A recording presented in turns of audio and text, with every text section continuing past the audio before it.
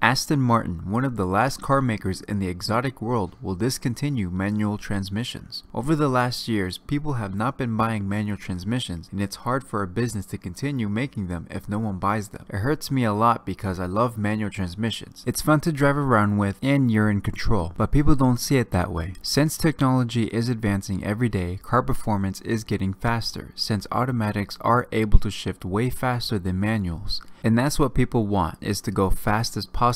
The thing is, any car can reach 100, it's just a matter of getting to 100 as quick as possible. So Aston Martin saw that their numbers were going down on manuals and will retire them. But in my opinion, I think they should have manual transmissions as an option if customers want one. Because not everyone wants an automatic, but it's about money and numbers. But what do you guys think of the Aston Martin giving up on manual transmissions? I think they should keep it. I feel like it'd be more rare, especially since it's an exotic car. And to be an exotic car that only has a manual transmission out of all the exotics like Lamborghini and Ferrari, I think it would value the car much more and it'd be one rare sight to see that there's an exotic car left that has a manual transmission. But let me know in the comments below. Thank you guys for watching. Hope you guys like this topic. Like and subscribe and hope to see you on my next video.